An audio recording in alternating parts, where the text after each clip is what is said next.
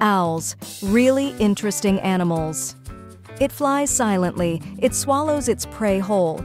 He has a very strong sense of hearing, it has three eyelids. Owls are very successful at camouflage. They eat a lot of rodents. Some owls make a hissing sound. Goblin owl lives in cactus. Female owls are more aggressive than males. It has advanced eyesight. Not all owl species are nocturnal. Some owls may hunt other owls. They feed the strongest offspring. They cannot rotate their heads 360 degrees. It is the only bird species that can see the color blue.